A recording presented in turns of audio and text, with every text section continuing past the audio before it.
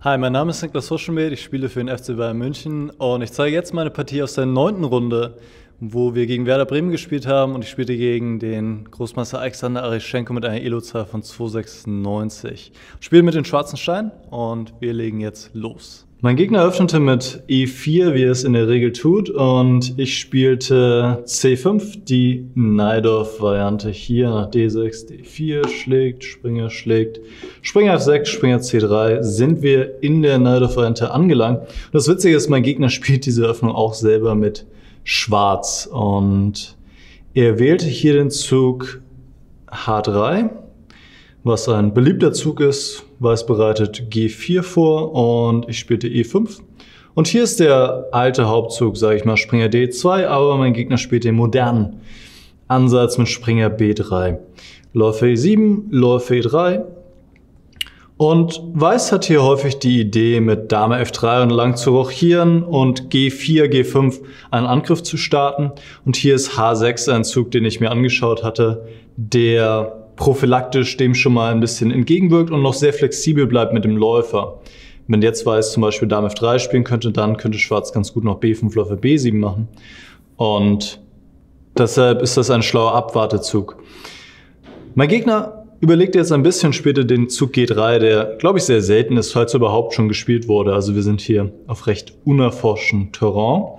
Und ich entwickelte mich jetzt auf normale Art und Weise weiter. Läufer E6, Läufe G2, Springer BD7. Und man sieht schon, dass das Weiß jetzt eher einen ähm, positionellen Ansatz wählt hier. Also nichts mehr mit Angriff und irgendwie Bauern nach vorne schieben, sondern Kontrolle, Läufer G2, das Feld D5 ist unter Kontrolle genommen und Schwarz soll daran gehindert werden, D5 zu spielen. Ich spiele jetzt Turm C8, die Standardzüge hier, Turm kommt auf die halboffene Linie, A4, auch das ist Standard von Weiß, um ein bisschen Raum abzugreifen. Und jetzt spiele ich den Zug Springer B6, um mit dem Springer nach C4 zu kommen. Im Nachhinein würde ich vielleicht sagen, es wäre besser gewesen, Zug auch hier und einfach dann Dame C7 zu spielen und so weiter und so fort.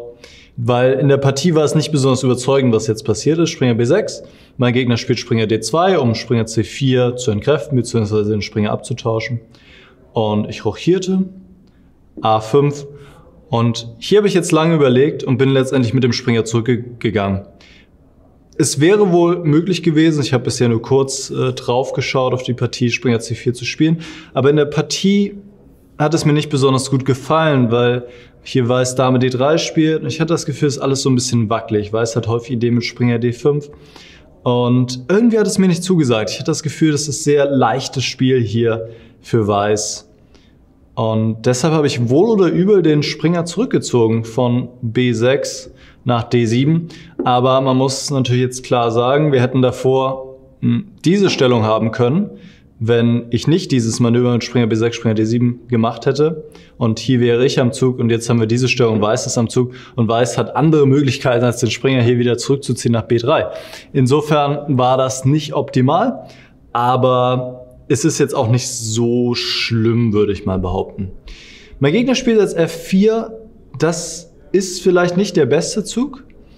Vielleicht sollte Weiß Dame E2 spielen Turm E1 irgendwie ruhig fortsetzen. Ich finde Dame E2 eigentlich sehr logisch mit der Idee dann Turm D1 und irgendwie den Springer, der Springer ist so ein bisschen das Sorgenkind für Weiß. Die Frage, manchmal kann er vielleicht über F1, später nach E3 und D5, aber dieses Problem muss Weiß ein, bisschen, ein wenig lösen. Auf der anderen Seite ist es auch für Schwarz nicht so leicht, irgendwie Fortschritte zu machen, weil der typische Hebel oder der Durchstoß, Vorstoß D5 ist nicht leicht umzusetzen.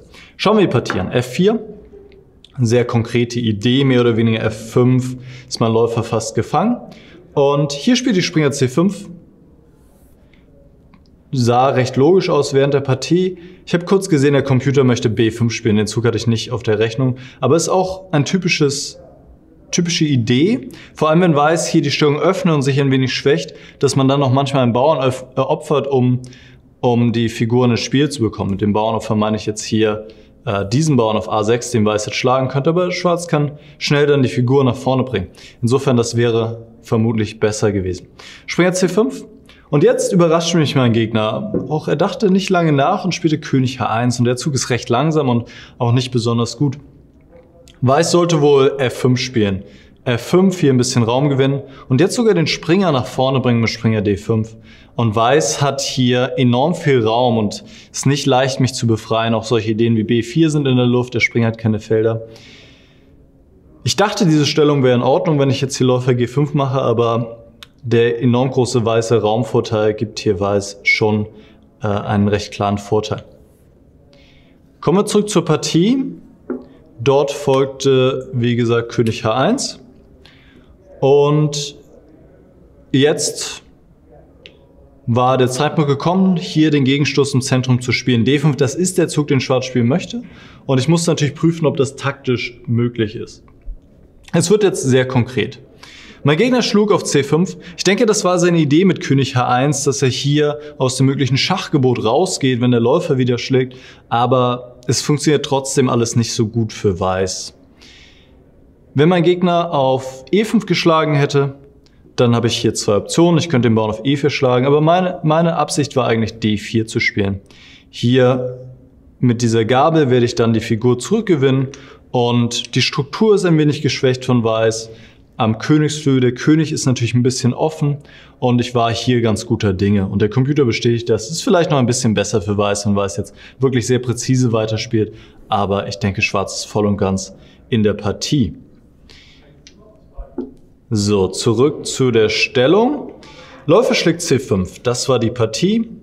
Und meine ursprüngliche Absicht war tatsächlich mit dem Turm zu schlagen auf C5. Mit dem Turm zu schlagen, um in ein paar Varianten hier auf der fünften Reihe ähm, Bauern schlagen zu können. Beispielsweise, falls Weiß auf E5 schlägt, kann ich, kann ich auf E4 schlagen. Und falls Weiß jetzt wieder schlägt, dann sehen wir, öffnet sich hier die fünfte Reihe und der Turm greift diesen Bauern an. Das sah für mich sehr logisch aus. Und dieser Zug ist vermutlich auch vollkommen in Ordnung. Turm schlägt C5. Ich hatte hier ein bisschen erwartet, dass mein Gegner die Qualität gewinnt mit Springer B3. Wenn jetzt der Turm zieht, würde der Bau auf D5 hängen, aber ich kann die Qualität opfern und hatte das ein wenig berechnet. Und es sah in meinen Augen auch in Ordnung aus und der Computer bestätigt das. Also auch das wäre möglich gewesen. Ähm, Schwarz hat hier genügend Kompensation für die Qualität. Aber als dann mein Gegner auf C5 geschlagen hat, habe ich überlegt, Moment mal, was ist eigentlich, wenn ich mit dem Läufer schlage? Zuerst hatte ich das verworfen. Das ist jetzt die Partie, weil Weiß schlägt auf E5. Und wenn ich jetzt auf E4 schlage, auch das ist sogar möglich, wie mir der Computer mitgeteilt hat, äh, dachte ich, würde Weiß besser stehen. Aber das war meine Idee. D4. Hier ziehe ich vorbei und möchte jetzt auf den schwarzen Feldern spielen. Wenn Weiß nun den Springer auf F6 schlägt, schlage ich den Springer auf C3 und Weiß hat hier, sagen wir Weiß schlägt auf G7 und schlägt auf C3, Weiß hat hier sogar zwei Bauern mehr. Aber die ganze weiße Stellung, die Struktur ist äh, fürchterlich. Ich habe zwei starke Läufer. Die weißen Leichtfiguren sind nicht gut. Vor allem dieser Läufer ist natürlich sehr stark, er hat keinen Gegenspieler. Und ich hatte jetzt sowas gerechnet wie Läufer E3, greift den Springer an, greift den Bauern an. Und ich habe mich sehr wohl gefühlt in dieser Stellung. Und vermutlich hat es Areschenko ähnlich gesehen, denn er hat sich nicht für diese Variante entschieden. So, und damit gehen wir zurück zur Partie. Dort folgte nämlich etwas anderes nach D4, nach diesem Zug D4. Mein Gegner spielte Springer A4. Und jetzt ziehe ich Springer D7. Weiß hat aktuell einen Bauern mehr, aber diesen Bauern wird er auf kurz oder lang nicht halten können. Und dann ist diese Struktur am Königshügel schlecht für Weiß. Es folgte Springer schlägt C5, Turm schlägt C5, Springer F3. Und jetzt habe ich auf A5 geschlagen, erstmal diesen Bauern. Dame schlägt D4. Jetzt habe ich die Türme getauscht.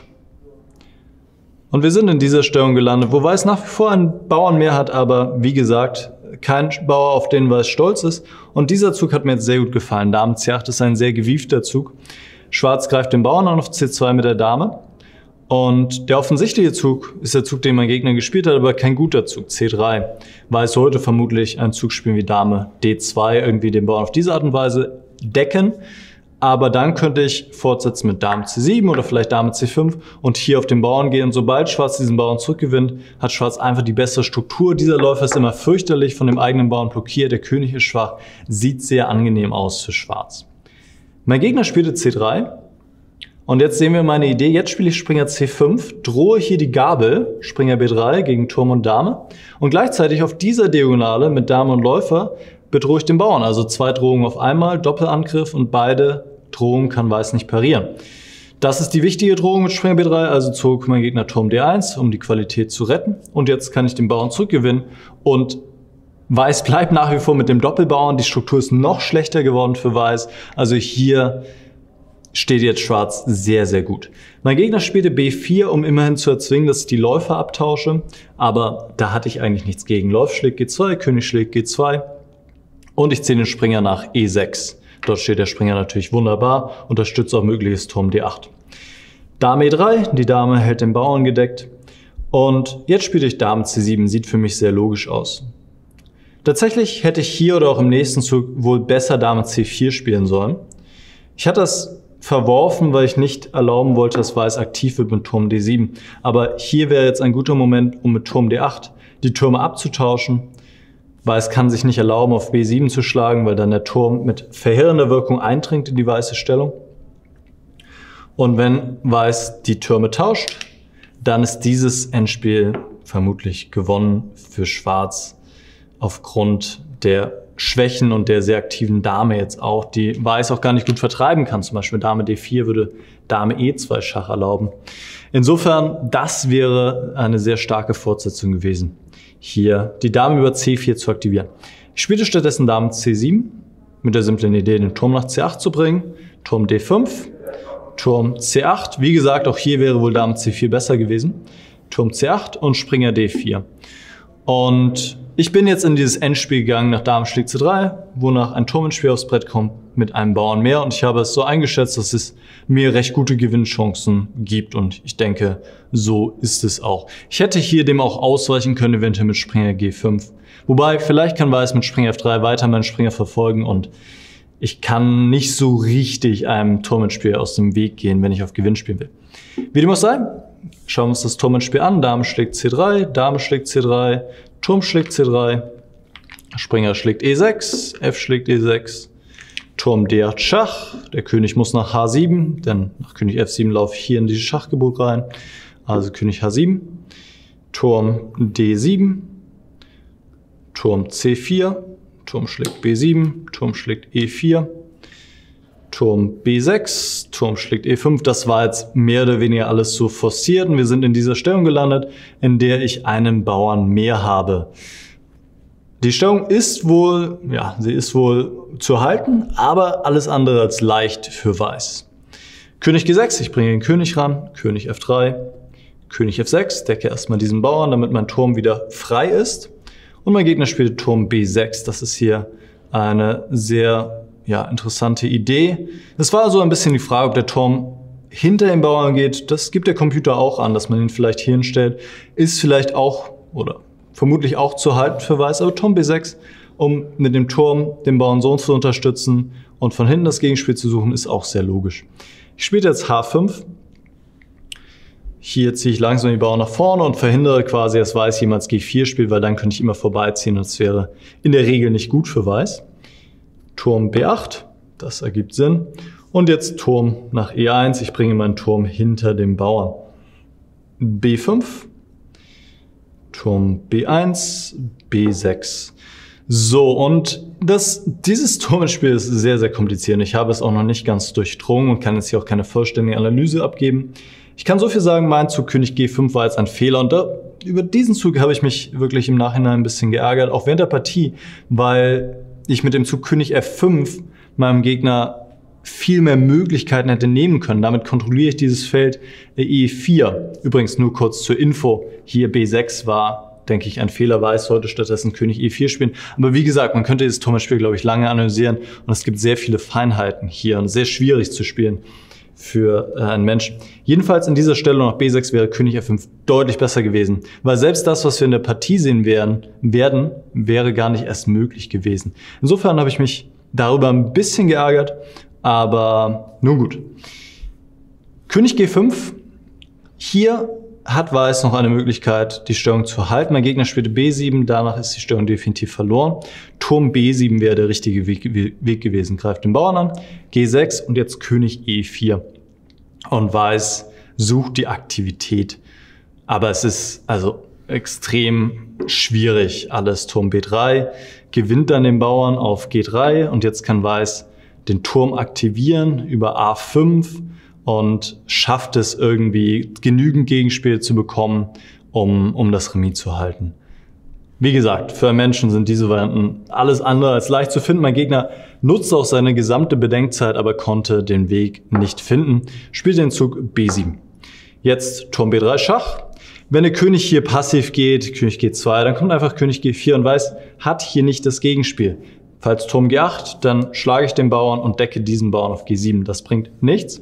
Und falls Turm E8, dann gebe ich zuerst ein Schach, zwinge den König auf die Grundreihe, schlage jetzt den Bauern, Turm schlägt E6 und schlage diesen Bauern. Und mit den beiden verbundenen Freibauern hier am Darmflügel ist der Sieg recht leicht.